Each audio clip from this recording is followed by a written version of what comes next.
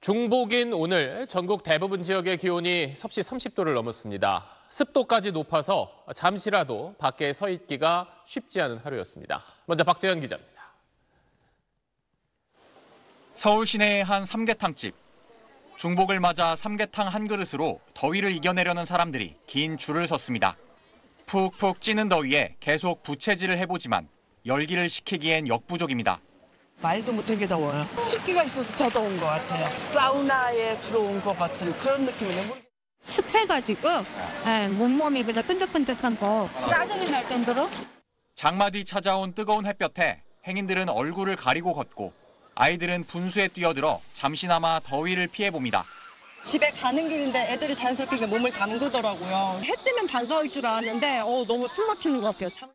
오늘 체감 기온이 최고 36.2도까지 치솟은 서울은 올여름 처음으로 폭염 경보가 내려졌습니다. 폭염은 서울뿐 아니라 전국을 강타했습니다. 제주의 얼음 공장에선 제빙기가 쉴 새 없이 움직입니다.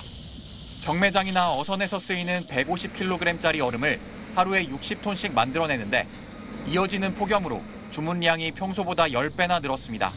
주문을 소화하느라 차가운 얼음 옆에서 일하는데도 땀이 흐릅니다.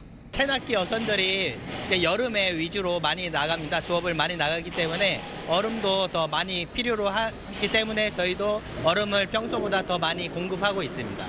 강원도 동해안 지역은 계속되는 열대야와 낮 찜통 더위가 겹치면서 밤 늦게까지 바닷가를 찾는 발길이 이어졌습니다.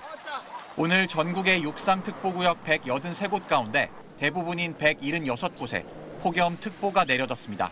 SBS 박재현입니다.